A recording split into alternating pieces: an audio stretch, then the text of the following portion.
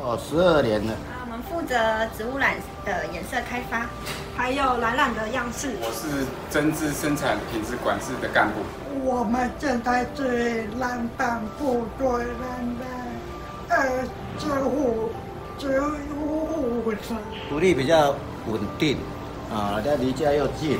因为设计部门跟样品部他们的设计 idea 都每天都很新，一直在更换。那所以我要把设计部门跟样本室的东西，在我的机材很完美的编织出来，所以我每天的挑战都不一样。我还蛮欣赏，就是会愿意把植物染投入纺织产业的，因为呢，它其实色牢度不好，然后又无法就是准确的统一，所以其实是要经过很多困难。对，然后跟客人磨合。老板的要求是很环保，而且要有循环性的。的作业方式，所以我们这个部门就很坚持做环保这件事情。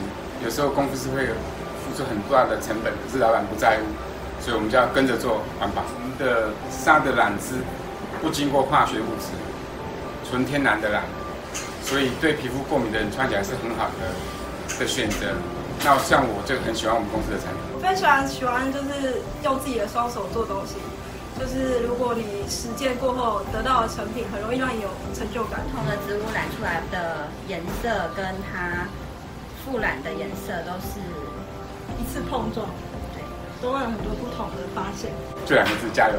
希望公司每年啊都可以有很多客人愿意去购买，然后这个品牌还有历练，可以让更多的人去知道这个品牌的价值。这一个产业可以走过四十六年，一定还会有下一个五十年，所以我们一起期待下一个五十年会有什么新变化吧。就希望狐狸的生意蒸蒸日上，呃，祝狐狸生日快乐。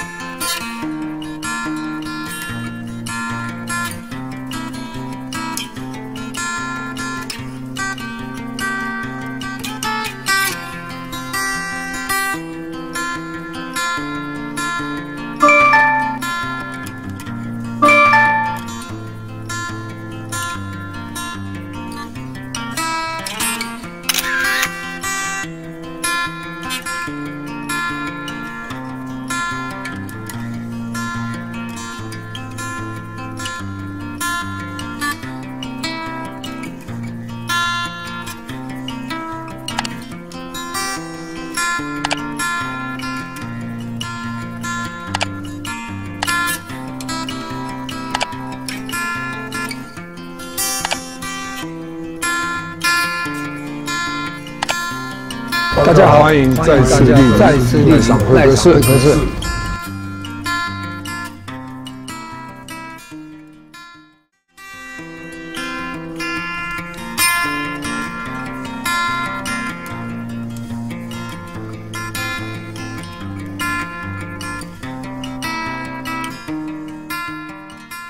呃，祝福你生日快乐！